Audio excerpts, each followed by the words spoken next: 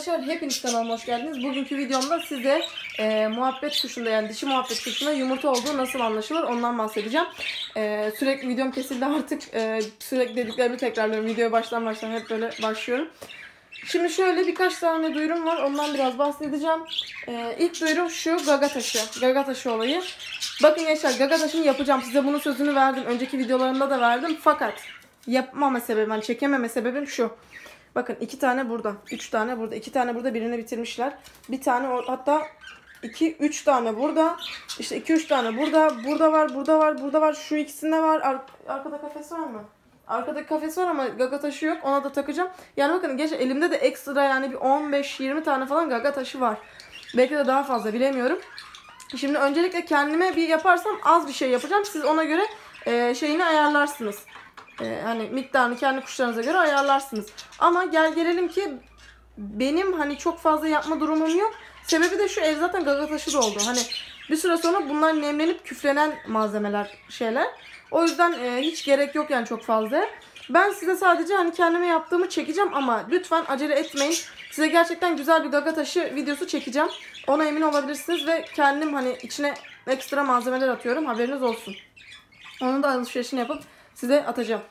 Ee, şimdi ikinci duyurum da şu artık e, üzgünüm Instagram'a yetişemiyorum. Yani bazı kişilerin mesajlarına cevap veriyorum. Evet doğrudur ama bazen bir açıyorum yani 50-100 tane mesaj var. Bu kadar mesaja benim cevap vermem mümkün değil ki. e, sadece hani takip edip etmemesi bakın hiç önemli değil benim. E, edip etmeyenlerle beraber neredeyse 50-100 tane mesaj geliyor. Bir gün bir açtım hani benim attıklarım falan fistan kaç tane mesaj olmuş hangi birine yetişeyim hastanede çalışırken hele mümkün değil. İnternetimi ona harcayınca bu sefer şey olmuyor. Bıraksam o cevapsız kalıyor. O yüzden sadece YouTube üzerinden e, mesajlarınızı alacağım. Instagram üzerine e, yani Instagram normalde de zaten çok fazla açmıyorum kuşların hesabını. Instagram'ın sadece hani kuşların hesabında paylaşım hesabı olarak ve e, varsa öneriniz hani şu videoyu çek bu videoyu çek tarzında. Onun dışında benim kuşum e, şu hastalıkta ya da benim kuşum çiftleşmiyor gibisinden mesajları sadece ve sadece YouTube üzerinden zaten bu videodan sonra da mesajları e, yani kapatacağım. Artık mesaj gelmesini engelleyeceğim. Sebebini de söyledim zaten. Şimdi kuşların durumuna gelecek olursak e, kuşlar yumurt yumurta hazırlığında öyle diyeyim size bakın Rıfkı normalde bu ilgiyi asla abiyeye göstermez. Ona yem kusuyor, gidiyor kaşıyor.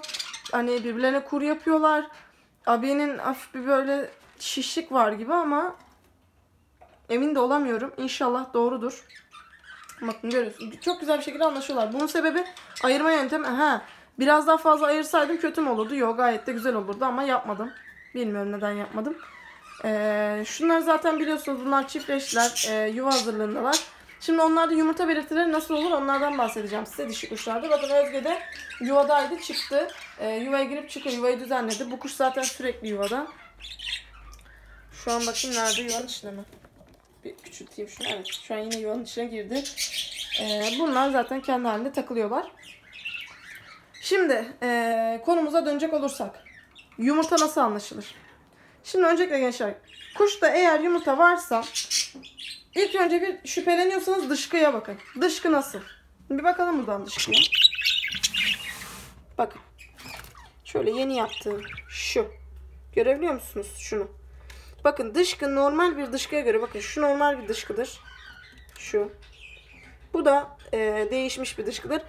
Ben kuşlardan iğrenmem hani tiksinmem o yüzden e, ellerim yani elimde gider yıkarım sıkıntı yok. O konularda bakın görüyorsunuz zaten insanla uğraşıyorum. O yüzden kuş çok fazla şey yapmıyor yani bakın büyümüş. Görüyorsunuz büyümüş. Ee, dışkı hafiften büyümeye başlar. Kuş yuvada ne kadar çok vakit geçirirse dışkısı o kadar büyür. Zaten yumurtada yatarken dışarı çıkmamasının sebebi de budur. Yani dışkısının büyümesinin sebebi dışarı çıkmamasıdır.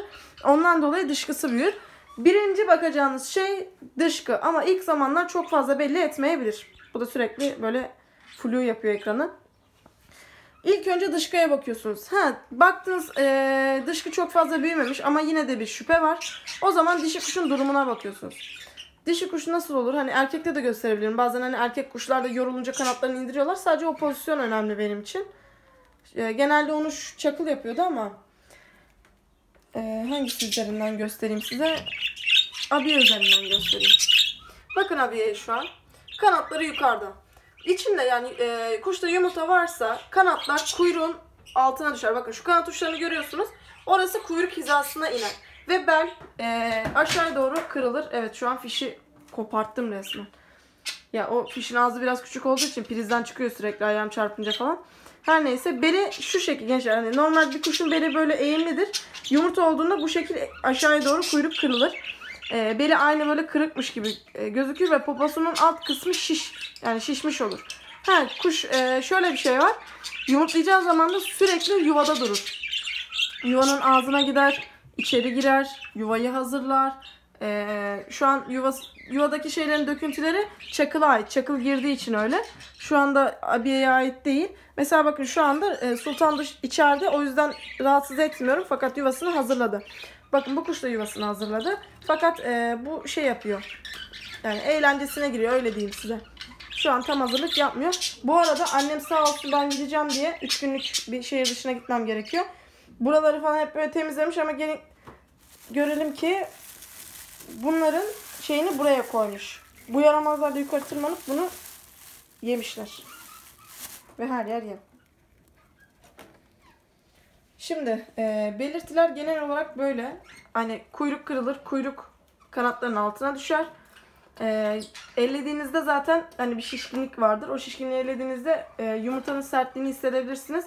Bir de e, dediğim gibi dışkı büyür. En önemli şey de budur. Bazen kuşlar yorulunca kanatlarını kuyruğun altına indirirler. Fakat tek yani gerçekten kesin olarak belirleyecek yöntem dışkıdır.